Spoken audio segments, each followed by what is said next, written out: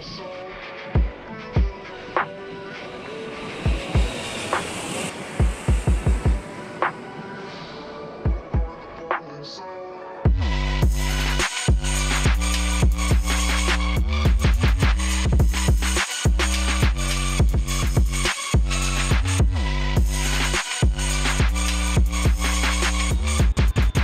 Shalom, Israel. This is Bishop Nathaniel. The Israelites have been scattered across the four corners of the earth, as prophesied in Deuteronomy, the 20th chapter. Here in Israel United in Christ, we need your help to recover the remnant of our people, teach them the gospel. Please help us, support us, and join or donate to the Booster Club today. Shalom.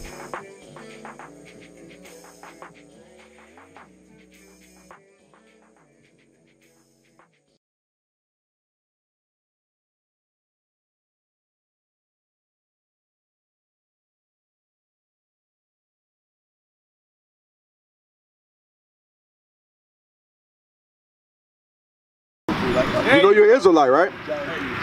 Okay, good. Give me Deuteronomy chapter 10, verse 12. You know you're an Israelite from the tribe of Judah. How long have you been learning? Uh, you get back, I got to see back almost like four or five months. Okay, that's good. That's good. That's good. I'm gonna read something to you, Tony. Right? And this is what God wants from you. Bring Read this.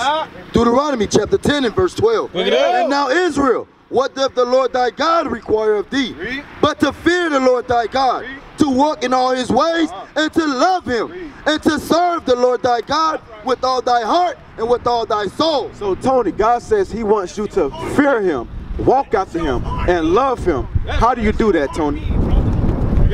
By keeping His commandments. Read.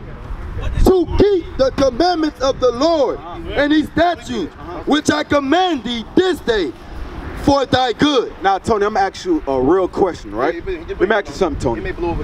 When you look at all the black men out here right now today of Moncrief in this community, do you see any leaders among our people? You don't see them, right? No. Give me Psalm chapter 94, verse 16. Bring it up. You don't see them. You He did said they in the wrong place. everybody He must like captivity. a BC when I know when he He say, just didn't say uh, Israel. those John It's right Handy in people the and Martin Luther King. Right, right, right. Back then, when I was coming up, black, black folks owned a lot of gold and business. You know what I'm saying? So, so when they brought the uh, integrated schools and stuff, they put the heroin on in, in, in the neighborhood. Absolutely. And they started losing everything. Absolutely. So, so, so you know what I'm saying? So, I was too out there to see that they in there that want to run and love, you know what I'm saying? But So- I know Bible says be at peace with all men. You know what I'm saying? So, Tony, let me ask you this. With that knowledge you have right now, do you believe, how old you, uh, or if you don't mind me asking, how old you are? Going to six- like six- Going on 63, right?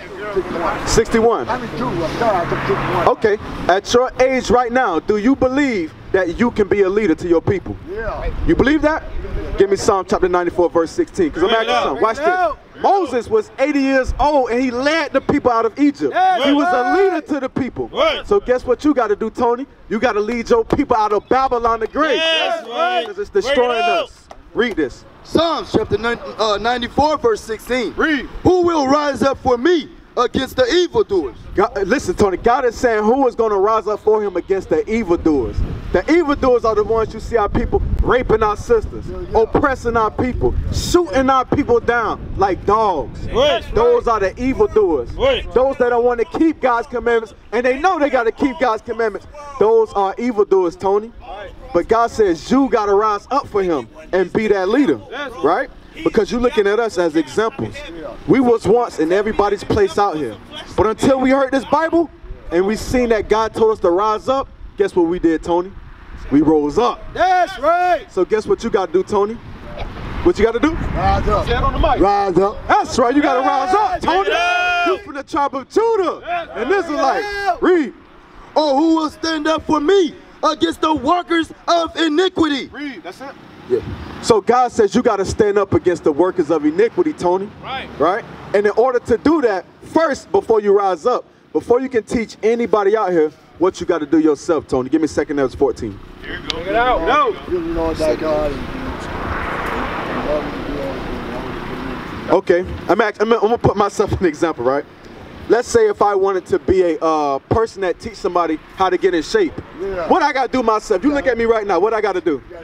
Yeah. I gotta be in what? You gotta be in shape. I gotta be in shape, right? Before I can teach somebody how to be in shape, I myself have to be in shape. Bring it out. So before you can teach people how to keep God's commandments, you gotta keep God's Bring commandments. it out. Second Esdras chapter 14, verse 34. Read this. Second Esdras chapter 14, verse 34. Therefore, if so be that you will subdue. Hold on, nope. Go to verse 14. That's what I want. Verse 14. Verse 13. Read that. Second Esdras chapter 14, verse 13. Now therefore set thine house in order. See that, Tony? God says you gotta set your house in order. What does he mean by that? Set your house in order. I gotta get myself. You gotta get yourself in order. Exactly. And I'm You're not gonna you know, can't be able to judge me like a righteous being the person. works of the law. like, well, okay, then I knew. Like, like right now, You like I'm in the in I ain't in the laws because like, you doing works. you So how could you have faith and you follow like, all 638 laws? You know, you get wrong. It don't make no sense. right, right. You know, you got a lot of. Nobody You really, you really, really deep laws. down and. Sometimes you, And and, and if you living for that, then it wouldn't matter. It's but that's why people need the medicine, Tony. That's why people need leaders. Because if you look in our communities right now, our people, we don't got no leaders. We got entertainers. We got football players. We got comedians. We got brothers that know the word of God and don't want to do it. Bring it out. Those are not leaders, Tony. Read.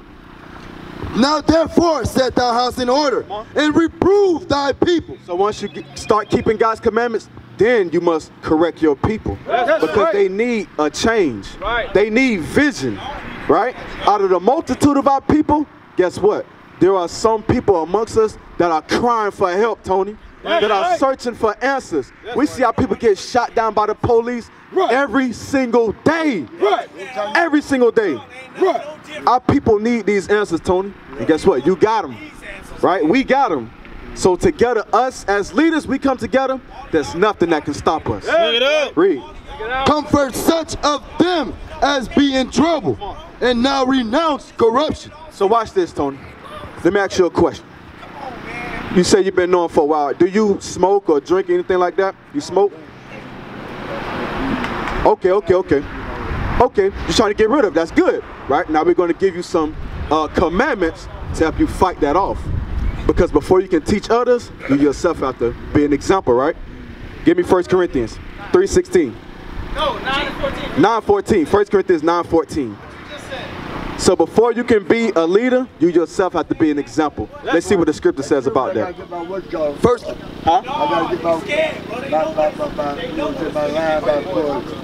gotta get my, Scared, bro. They my, know my, that. my, my, They you know know, that. my line about for messing with women too. Okay, we're gonna touch on all that. We're gonna touch on all that. Read that.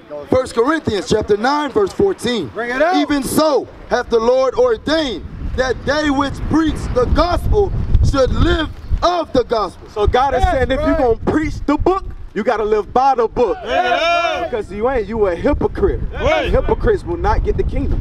Now go to 1 Corinthians 3.16. Works of 1 Corinthians chapter 3, verse 16, Tony. And guess what, Tony?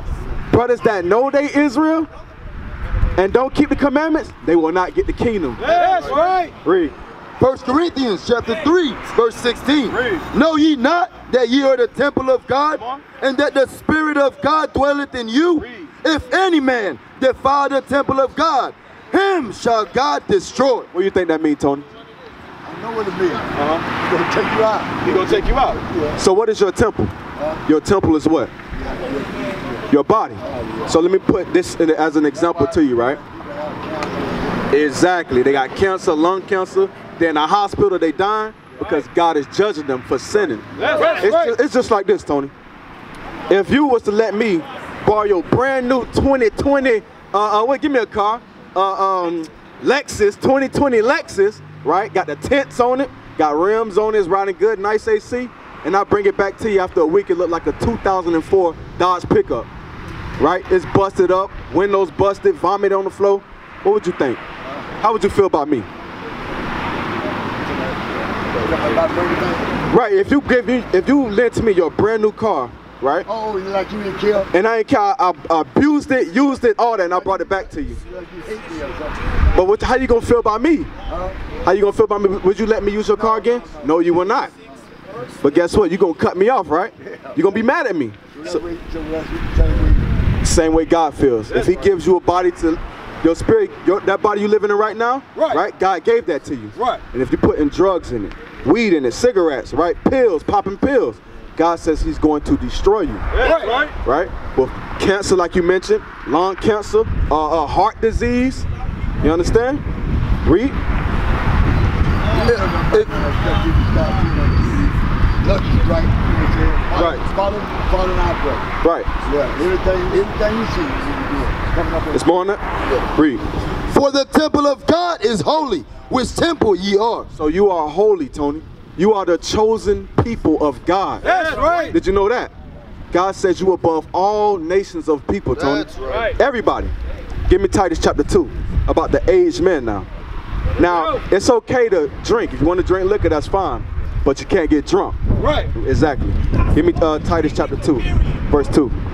Titus chapter 2 and verse 2 that the aged man be sober, grave, temperate, sound in faith, and charity and patience. See that? The older men and the younger men, they have to be sober minded. Right. Meaning clear minded. That's right. Meaning their mind cannot be intoxicated with drugs. Right, with pills and, and liquor. You understand? Now give me Hebrews chapter 13, verse 4. Because you said something about, you know, women, right? You have a girlfriend?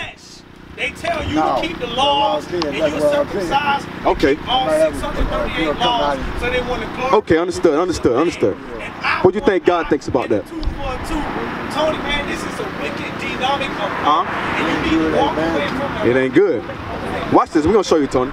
Hebrews chapter 13 and verse 4. Marriage is honorable in all, and the bed undefiled. But whoremongers and adulterers God will judge. See that? Now God says to be married is an honorable thing, right? To have a, to a woman that you call your wife and not just your baby mama, not just your side piece. God said that's an honorable thing. That's I'm gonna tell you, I got an uncle. He been dealing with this woman for over 20 some years, and that's still his girlfriend. Not even married. And I don't understand that. Brother be 60 years old with a woman that's 60 years old, and she's still his girlfriend. Bring it Bring out. it That don't make no sense. Bring it out. But when you look at the so-called white man, you look at the so-called Chinese man, you don't see that. That's their wife. You see that? So the Bible is meant to change the mindset and the conditions of our community, Right. of our people. Right. You understand? Read, read that again. Marriage is honorable in all, uh-huh. and the bed undefiled. But whoremongers, Now God says a whoremonger. What's a whoremonger, Tony? What's a whoremonger? Well, like, uh, they trick you, probably hit you, and Right, right, right. You, you ever seen the movie Black Panther? Okay, okay, okay. So God says a whoremonger, right, is a person that lay with a woman over and over and not married to them. Same goes as a woman, lay with a man that's not married to them, right? That's a whoremonger, read. but whoremongers and adulterers God will judge. And how does God judge you? Deuteronomy chapter 28, verse 61. How does God judge whoremongers, Tony?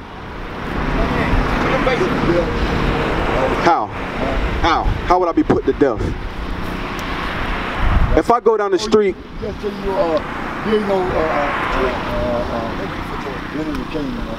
okay, that's one. You will not enter the kingdom, correct? But we're going to show you. We're going to show you. Read this. Deuteronomy chapter 28, verse 61. Bring it out. Also, every sickness Every and every sickness Every sickness is a judge from God, like AIDS, gonorrhea, chlamydia, right? All those diseases are sicknesses and plagues from God. That's why you see our people lined up in front of the clinic, That's right? With STDs, burning and itching because they don't keep God's commandments. Read. Also, every sickness and every plague which is not written in the book of the law, uh-huh. them will the Lord bring upon thee until thou be destroyed. So when you're out there whoremongering, dealing with different women that you're not married to, God says you will be destroyed for that. We used to scream black power while heroin was pushed. But at the end of the day, nothing's in vain. IUIC has been given a vision. The tents of Judah has risen. Many has attempted the mission, minor murmuring, omitting, and missing the mark. Just reading that he had the flame of fire in his eyes gave us the spark. We on Paul's mission. We out on the road, purple and gold. From Mexico, Cuba, Haiti, Ghana, Sierra Leone. 144,000 boots banging, concrete crackling. These are how men repented at heart. The scriptures is proof. IUIC, we deliver the truth.